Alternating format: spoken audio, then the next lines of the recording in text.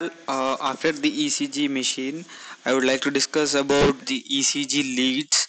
Uh, it's a part of the ECG machine only, like how the electrode electrodes of the ECG machine are uh, placed and the placements, the different placements of the ECG electrodes are called leads. There are different types of lead systems through the through which the ECG uh, signal is acquired. Uh, it is based on the uh, diagnosis or it is based on the uh, machine how which uh, some different machines use different lead systems. Uh, yeah coming to the starting with the leads. What is the lead in the ECG what is the ECG lead? When two electrodes placed over different areas of the heart and connected to the galvanometer which will which will pick up the electrical currents resulting from the potential difference between the two electrodes this resulting tracing of the voltage difference at any two sides due to the electrical activity of the heart uh, at any two electrodes in between the two electrodes is called a lead. Uh, for a general example, if uh, we can take that uh, if under one electrode a wave of 1 millivolt and other second electrode a wave of 0.2 millivolt occurred. At the same time then the two electrodes will record the difference between them. The recording which is uh, uh, recorded is the difference between the two electrodes. That is in this example that is uh, 1 minus 0.2 that is 0.8 millivolts. The wave is the resulting wave is 0.8 millivolts. This is how the lead works. The difference between the electrical difference between two electrodes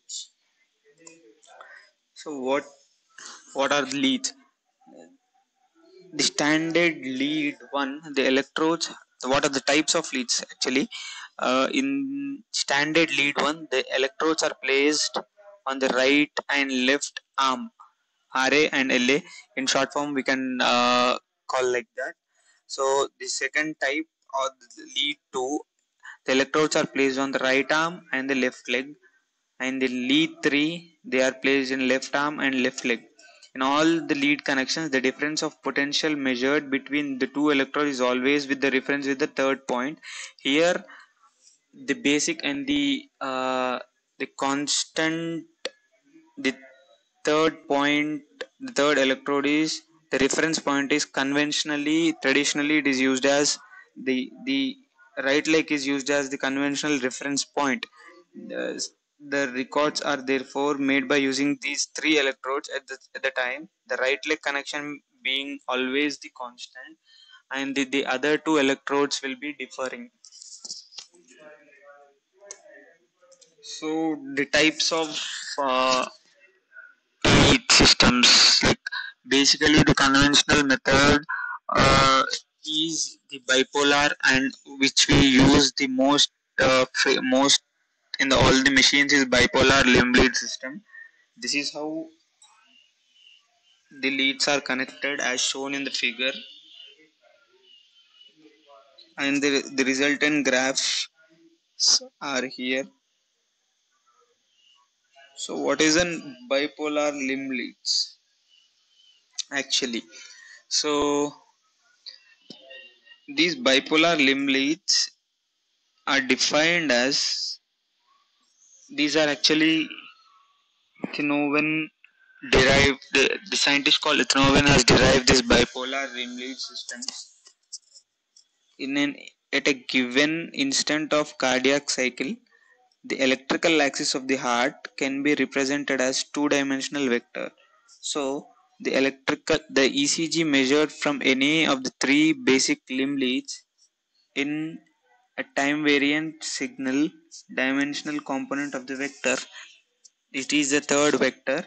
So he proposed that the electrical field of the heart could be represented dramatically diagrammatically as a triangle. The field of the heart could be represented diagrammatically as a triangle with the heart ide ideally located at the center. So here we can see the right leg right left right arm left arm and the left leg taken the other thing left leg so this is the lead 1, lead 2 and lead 3 different types of leads of bipolar limb leads.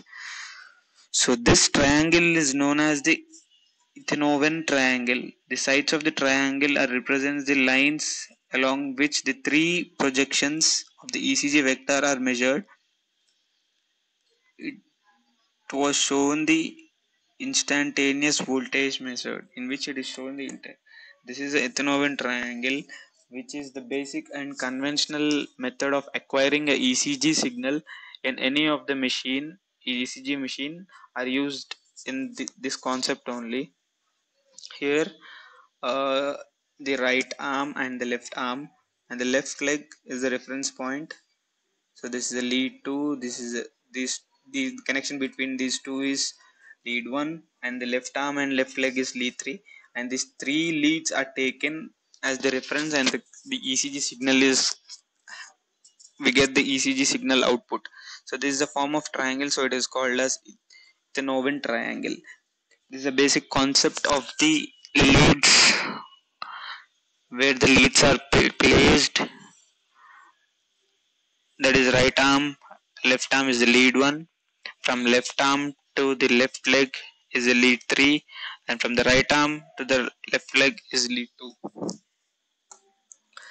so what is the next is a unipolar limb leads so what is a unipolar limb uh, here the development of unipolar limb unipolar leads introduced by wilson in 1894 in this arrangement the, the ecg is recorded between a single exploratory electrode only one electrode and which is connected to the central terminal. That is uh, it is like to the uh, reference point. We have only one reference point here. In this practice the reference electrode or central terminal is obtained by combination of several electrodes tied together at one point the standard leads record the difference in the electrical potential between two points of the body produced to the heart action. And this voltage shown smaller changes than either the potential. So this voltage is shown the smaller potentials than the bipolar potentials. So the sensitivity is less here. So this is used as the advancement of the bipolar limb leads so for the some parts of uh, so in some uh, they don't, don't get any external disturbances in this unipolar limb leads. So this is what the unipolar limb leads are. So thank you. Oh, in this short session we have learned what are the leads of ECG signal and what types of the leads what is Einthoven triangle how the ECG signals are acquired through the limb leads. Thank you